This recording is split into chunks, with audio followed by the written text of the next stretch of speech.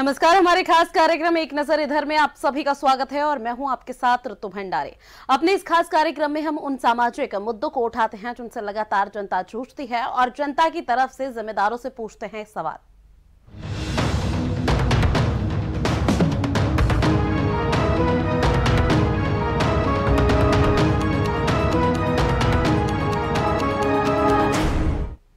शिक्षा को लेकर सरकार की तरफ़ से कई तरह की योजनाएँ चलाई जा रही हैं। उसके बाद भी जब जिम्मेदार किसी भी मामले को लेकर कोई ठोस कदम नहीं उठाते और लापरवाही बरतते हैं तो स्कूल के छात्रों को ही आगे आकर अपनी आवाज़ उठानी पड़ती है। एक ऐसा ही मामला गरियाबंद के माध्यमिक शाला हरदी से सामने आया है, जहाँ लंबे समय से शिक्षक की कमी को लेकर स्कूल के छात्र कई बार जिम्मेदारों से शिकायत कर चुके हैं।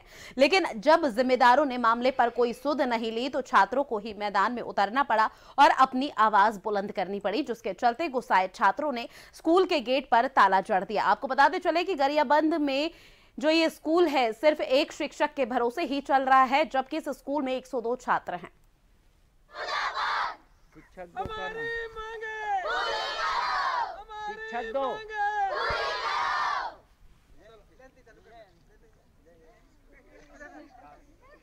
हमारी मांगे और इसी पर ज़्यादा जानकारी के लिए हमारे साथ संवाददाता भोला साहू फ़ोन लाइन पर जुड़ गए हैं। भोला क्या ऐसे बनेगा छत्तीसगढ़ शिक्षा का हब जहाँ शिक्षकों की मांगों को लेकर खुद छात्रों को अपनी आवाज़ उठानी पड़ती है? जी बताना चाहूँगा पूरा मामला जो है गरियाबंद ज़िले के हरदी का है। जहाँ माध्यमिक शाला के स्कूली बच्चों ने आज तड़के स्कूल खुलने से पहले तालाबंदी कर दिया है। क्योंकि वह लंबे समय से शिक्षकों की मांग को लेकर जिला शिक्षा अधिकारी से लेकर जन प्रतिनिधि तक के अवगत करा चुके थे। इसके बावजूद उनके मांगों पर पूरा नहीं होते देख वह स्कूल में तालाबंदी कर दिया। जी। तो भोला साहू जब जनप्रतिनिधि जिला शिक्षा अधिकारी और भी बाकी बड़ी बाकी बड़े अधिकारियों को अगर संज्ञान में मामला आ चुका है तो उन्होंने क्या कुछ आश्वासन दिया? जी शिक्षा विभाग के कुछ कर्मचारी यहाँ स्कूल में पहुँचे थे और उन्होंने बच्चों व पालक को आश्वासन दिया कि जल्द ही उनकी मांगे जो पूरी हो जाएगी और जल्द जल्द दो से तीन शिक्षकों की यहाँ पर स्कूलों में नियुक्ति कर दी जाएगी। ऐसा करके ऐसा करके कहा गया है।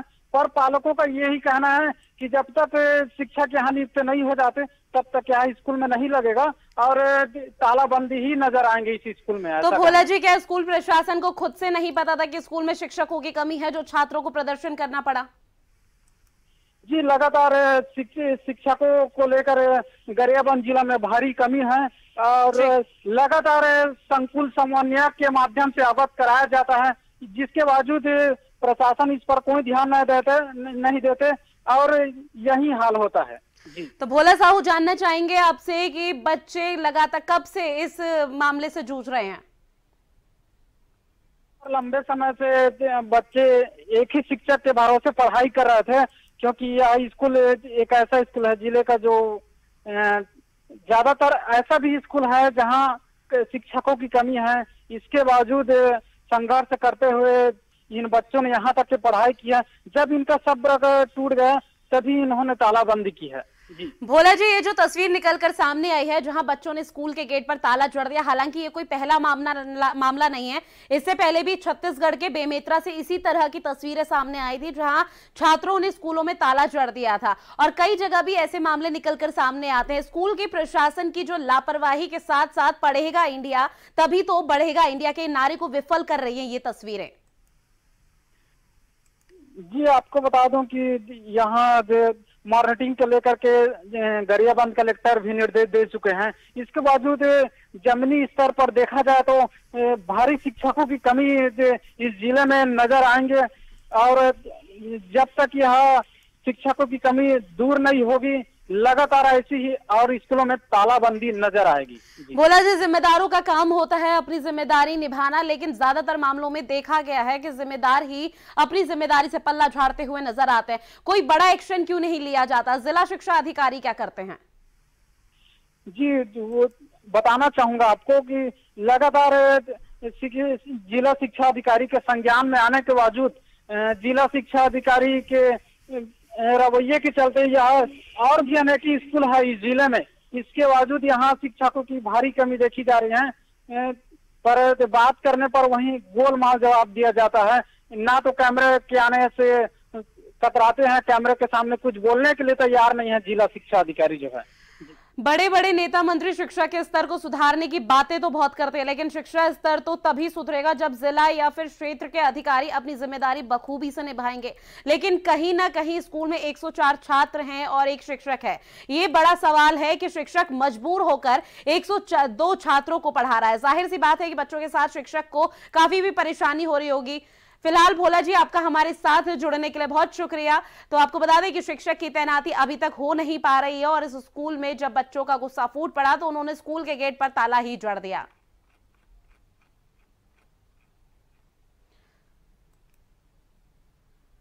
और अब हमारे साथ जिला शिक्षा अधिकारी जुड़ गए सबसे पहले तो आपका बहुत स्वागत है डीएनएन में। थैंक यू आपसे जानना चाहेंगे क्या मध्य प्रदेश इस तरह से छत्तीसगढ़ इस तरह से शिक्षा का हब बनेगा जहाँ स्कूल में शिक्षक नहीं है एक शिक्षक है और 104 छात्र हैं और शिक्षक पढ़ाने को मजबूर है? वहाँ तीन शिक्षक हैं दो शिक्षक अभी बीमार चल रहे हैं। जी। तो वहाँ के ऊपर अतिरिक्त मांग आई है और हमने आज एक शिक्षक वहाँ पर दूसरे जगह से अतिरिक्त शिक्षक निकाल करके वहाँ पर अस्थायी शिक्षक व्यवस्था कर दिया। तो एसएलजी जब एक शिक्षक है और बाकी दो शिक्षक बीमार है क्या आपको नहीं लगता कि पहले से और भी शिक्षक बैकअप में रखने चाहिए? बीमार बीमार कितना दिन रह गई है? हमको आइडिया थोड़ी रहेगा बीमार तो ऐसा है जो कल भी आ सकता है ऐसा वाली बात थी उनमें। तो अब स्कूल के गेट पे ताला जड़ दिया बच्चों ने। बच्चों के भविष्य के साथ तो खिलवाड़ हो ही रहा है। अब क्या कुछ कहेंगे आप? मैंने शिक्षक व्यवस्था हमने कर दिया वहाँ पर। आज हो गए आदेश। और शिक्षक वहाँ पर ज्वाइन करने के लिए चला गया। चलिए, आपका हमारे साथ जुड़ने के लिए बहुत शुक्रिया। तो ये तस्वीरें आपको छत्तीसगढ़ के गरियाबंद के दिखा रहे हैं, जहाँ आपको बता दें कि लाख दावे सरकार करती है स्कूल शिक्षा बेहतर को शिक्षा स्तर को बेहतर बनाने के लिए, लेकिन ये जो तस्वीरें निकलकर गरियाबंद से सामने आ रही हैं, कहीं ना कहीं उन्हीं योजनाओं पर पलीता लगाते हुए नज़र आ रही है। स्कूल के बच्चों लगातार शिक्षक की मांग कर रहे थे, जहाँ एक शिक्षक स्कूल में है, और आपको बता दें कि 102 छात्र हैं। इस दौरान शिक्षक भी कहीं ना कहीं मजबूर होकर इन 102 छात्रों को पढ़ा रहा था, जिसके चलते अभी जिला शिक्षा अधिकारी से भी हमारी बात हुई। उन्होंने इस चीज़ को नकारा है और कहा कि स्कूल में तीन शिक्षक हैं दो की हालत अभी ठीक नहीं है दो की तबीयत अभी खराब चल रही है जिसके चलते एक शिक्षक पर ज़्यादा बर्डन आ गया है और उन्होंने और भी कई शिक्षकों की बात की है। और इसी पर हमारे साथ रवाधन फ़ोन लाइन पर जुड़ गए हैं। सबसे पहले तो डीएनएन में आपका बहुत स्वागत है। स्वागत रमाधन जी आपसे जानना चाहेंगे कि 102 छात्र हैं स्कूल में और सिर्फ़ एक शिक्षक है। इस दौरान पढ़ाई किस तरह से हो रही होगी? पढ़ाई नहीं हो पा रही मैडम। जी। इसीलिए तो हम बच्चों बच्चे जो है तालाबंदी किए हैं उसमें पालक भी शामिल है। हमारे ग्राम के सुरक्षा समिति हमारे सरपंच महोदय सभी जने हैं। जी। कि हमारा यही मांग है कि शिक्षक की व्यवस्था की जाए क्योंकि आधे सत्र बीत चुके हैं। तो अभी तक क्या किसी भी अधिकारी के संज्ञान में ये पूरा मामला आया? हाँ हम लोग किए हैं गरियाबंद जा करके। क्या कुछ आश्वासन मिला है आपको? एक हफ़्ते के बाद हम लोग तत्काल व्यवस्था कर रहे हैं शिक्षक का ऐसा बोला गया। लेकिन कितन- कुछ भी नहीं किया। तीन चार बार हम लोग प्रयास किए हैं कलेक्टर महोदय से शिक्षा अधिकारी से। रामधर जी ये समस्या से छात्र कब से जूझ रहे हैं? कितना समय हो गया इस समस्या से? अभी लगभग तीन चार माह हो गया है मैडम। अभी हमारी जिला शिक्षा अधिकारी से बात हुई। उन्होंने कहा कि जो इस स्कूल में तीन शिक्षक तैनात हैं उनमें दो की हालत अभी गम, बेहतर खराब बताई जा रही है काफ़ी बीमार बताए जा रहे हैं जिसके चलते एक शिक्षक पे बर्डन आ गया। उन्होंने कहा कि अभी और भी शिक्षक की तैनाती कर दी गई है। क्या ये बात सच है? नहीं हुई है। अभी एक शिक्षक लेकर के साथ में आए थे। हम लोग बोले हमें तीन शिक्षक तीन चार शिक्षक की आवश्यकता है। चार शिक्षक व्यवस्था कीजिएगा तभी ताला खुलेगा ऐसे करके हम लोग गाँव वाले बोले हैं। बच्चे लोग भी बोले हैं। तो क्या जिला शिक्षा अधिकारी ने खुद आकर वहाँ पर संज्ञान लिया था इस मामले का? हाँ। नहीं लिया है। चलिए रामधर जी आपका हमारे साथ जुड़ने के लिए बहुत शुक्रिया। तो ये तस्वीरें आपको छत्तीसगढ़ के गरियाबंद की दिखा रहे हैं जहाँ आपको बताते चले कि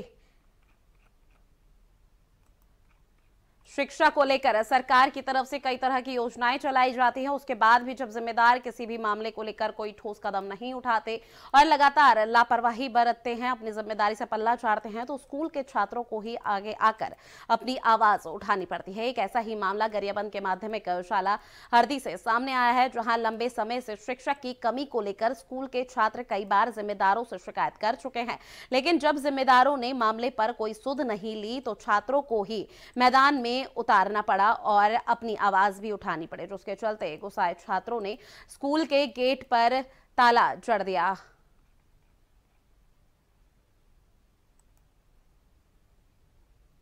और अब हमारे साथ बीजेपी नेता मुरलीधर सिन्हा फ़ोन लाइन पर जुड़ गए मुरलीधर जी, आपका बहुत स्वागत है डीएनएन में। धन्यवाद। मुरलीधर जी छत्तीसगढ़ के गरियाबंद से एक मामला सामने आया है जहाँ एक माध्यमिक स्कूल में शिक्षक मात्र सिर्फ़ एक है और बच्चे पढ़ने वाले 104 हैं। क्या कुछ कहना है आपका? ये बहुत मैंने दुर्भाग्यजनक बात है एक शिक्षक ही होनी नहीं चाहिए था। जी। यहाँ के जो प्रशासन है वो पंगु हो गया है। जी। और जितने भी शिक्षा अधिकारी है, उनको एक एक शिक्षकीय विद्यालय पहले देखना चाहिए। बच्चे के जीवन, भविष्य को अंधकारमय नहीं करना चाहिए। सरकार बदली है तो अधिकारी भी पंगु बन गए हैं और यह सरकार से उम्मीद भी नहीं किया जा सकता। जी। मुरलीधर जी, सरकार शिक्षा स्तर को बेहतर करने के लिए काफ़ी योजनाएँ चलाती है और इस तरह का मामला है जो है, पहली बार सामने नहीं आया, इससे पहले भी कई कई बार सामने आ चुके हैं। तो कोई सख्त कदम या सख्त एक्शन क्यों नहीं उठाया जाता? ये सब सरकार जो है स्थापना सब स्वीकृत करती है उस दिन से सब चीज़ स्वीकृत रहता है। लेकिन जो स्थानीय अधिकारी बीओ और डीओ होता है इनकी ज़िम्मेदारी पहले है। समय समय पर ज़िले और ऊपर स्तर की बैठक होती है तो इनको बताना चाहिए। और मुरलीधर जी अक्सर देखा गया है अभी भी जिम्मेदार अपनी जिम्मेदारियों से पल्ला झाड़ते हुए नज़र आ रहे हैं। यहाँ के जो वर्तमान विधायक हैं उनके भी बहुत बड़े दोष है इसमें। जी। चलिए मुरलीधर जी, आपका हमारे साथ जुड़ने के लिए बहुत शुक्रिया। तो ये तस्वीरें आपको छत्तीसगढ़ के गरियाबंद की दिखा रहे हैं, जहाँ आपको बता दें कि आज स्कूल के गेट पर छात्रों ने, गुस्साए छात्रों ने ताला जड़ दिया। कई बार वो जिला शिक्षा अधिकारी और अधिकारियों से शिक्षा की मांग को लेकर शिकायत कर चुके थे, जिसके बाद शिक्षा अधिकारी ने अभी तक संज्ञान मामले में नहीं लिया है और शिक्षक की मांग को लेकर जब गुस्साए छात्र और परिजनों ने अधिकारी से शिकायत की तो जिम्मेदारों ने अपनी ज़िम्मेदारी से पल्ला झाड़ते हुए नज़र आए हैं। अगर यही तस्वीर लगातार सामने आती रही, क्योंकि इससे पहले भी बेमेतरा ज़िले से इस तरह की तस्वीरें सामने आई थी, जहाँ गुस्साए छात्रों ने स्कूल के गेट पर ताला जड़ दिया था तो इससे आप साफ़ अंदाज़ा लगा सकते हैं। क्या इस तरह से छत्तीसगढ़ शिक्षा का हब बनेगा? हमारे खास कार्यक्रम में फ़िलहाल वक्त एक छोटे से ब्रेक का जल्द हाजिर होंगे।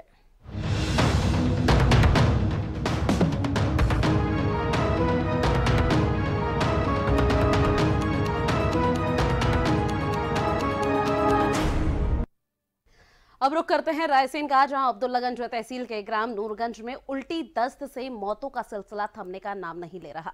गाँव में बीते चार दिन में तीन लोगों की मौत हो चुकी है, जबकि सौ से ज़्यादा ग्रामीण बीमार बताए जा रहे हैं।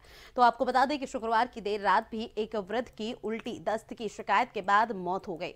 ये स्थिति तब है जब दो दिन से प्रशासनिक अमला, स्वास्थ्य विभाग और लोक स्वास्थ्य विभाग का अमला गाँव में डेरा डाले हुए बैठा है। ग्रामीणों का कहना है कि गाँव में लंबे समय से दूषित पानी आ रहा है, उसी के चलते दूषित पानी से खाना भी बनाते हैं जिससे गाँव के लोगों की लगातार तबीयत खराब हो रही है। उनको दस्त और दस्त हो रहा था दो तीन दिन से। और अचानक से उनको ज़्यादा सीरियस हो गए तो उनको पहले अब्दुल्लागंज ले गए फिर वहाँ से रेफ़र कर दिया। फिर उसके बाद हमीदिया के लिए किया तो फिर वहाँ हमीदिया में फिर थोड़ा चेकअप वगैरह चलता रहा वहाँ पर। और ना जूस भी दिया न, नली के द्वारा फिर ना आठ नौ बजे के करीब वो शांत हो गए। स्वास्थ्य विभाग ने कल भी जो है घर घर जाकर जाँच की और आज पुनः जो है वो टीम बढ़ा दी गई है और पुनः पूरे गाँव का परीक्षण किया जा रहा है। और हमारी तहसीलदार और एसडीएम साहब से बात हुई कि उसका कारण निकल के आया है जो कि पीएचई डिपार्टमेंट को उसे नल जल योजना है उसको दुरुस्त करना है कहीं से लीकेज नहीं हो। ताकि इस तरह से लोग जो है प्रभावित नहीं हो। हैंडपम्प उस गाँव में है लेकिन उसका पानी नहीं पीते हैं नल जल योजना का पानी पीते हैं। और इसी पर ज़्यादा जानकारी के लिए हमारे साथ संवाददाता पवन सिलावट फ़ोन लाइन पर जुड़ गए। पवन आपसे पूरा मामला विस्तार से जानना चाहेंगे जहाँ पिछले चार दिन में तीन लोगों की मौत हो चुकी है। जी आपको बता दो अब्दुल्लागंज तहसील के ग्राम नूरगंज नूरगंज में दूषित पानी पीने से लोग हो रहे हैं बीमार। उल्टी दस्त का सिलसिला कई दिनों से चलता आ रहा है मगर अभी तक ना तो नगर ग्राम पंचायतों और न नगर में किसी प्रकार का अ, कोई सहयोग किया जा रहा है। उस दूषित पानी पीने से कई लोग बहुत बीमार हो रहे हैं और तीन लोगों की मौत हो चुकी है।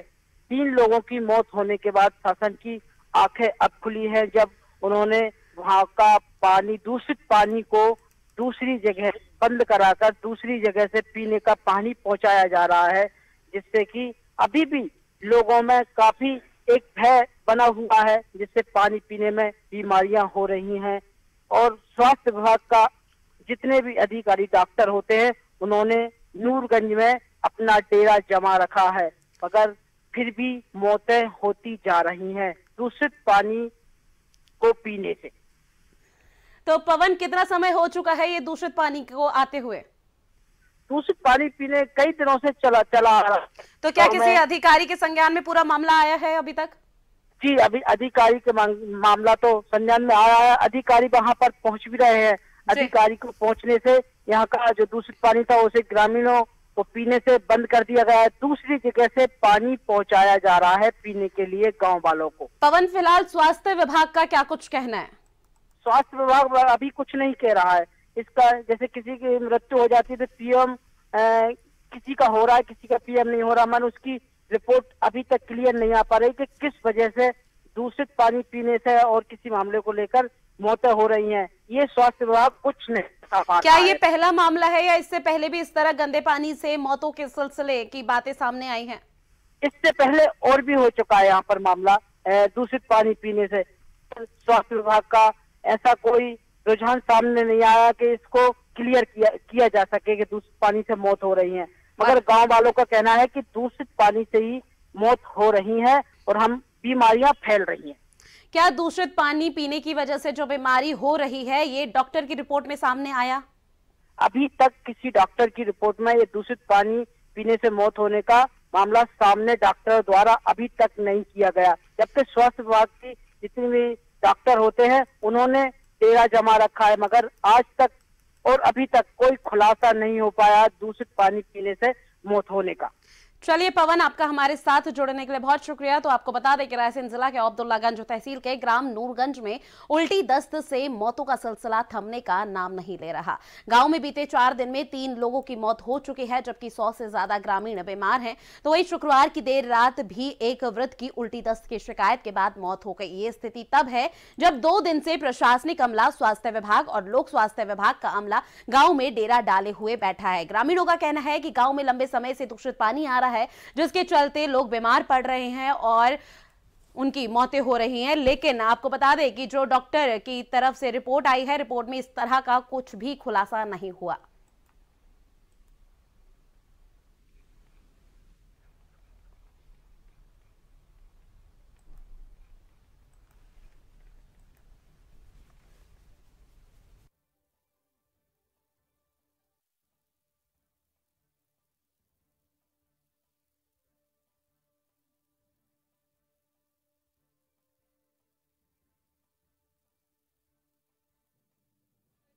रायसेन ज़िले की दिखा रहे हैं, जहाँ रायसेन ज़िले के अब्दुल्लागंज तहसील के ग्राम नूरगंज में उल्टी दस्त से मौतों का सिलसिला थमने का नाम नहीं ले रहा।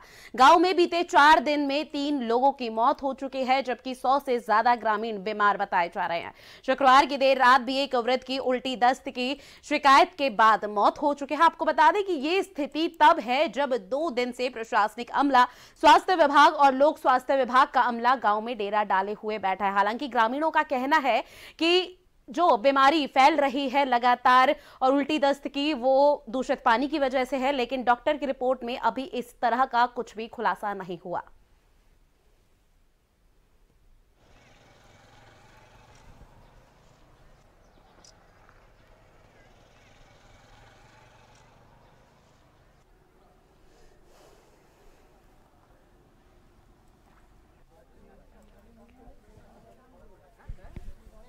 तो आपको बता दें कि रायसेन ज़िले के अब्दुल्लागंज तहसील के ग्राम नूरगंज में उल्टी दस्त से मौतों का सिलसिला थमने का नाम नहीं ले रहा। इससे पहले भी इस तरह के कई मामले सामने आ चुके हैं। लेकिन गाँव में बीते चार दिन में तीन लोगों की मौत हो गई है, जबकि सौ से ज़्यादा ग्रामीण बीमार बताए जा रहे हैं। हमारे खास कार्यक्रम एक नज़र इधर में। फ़िलहाल के लिए इतना ही। मुझे दीजिए इजाज़त। नमस्कार।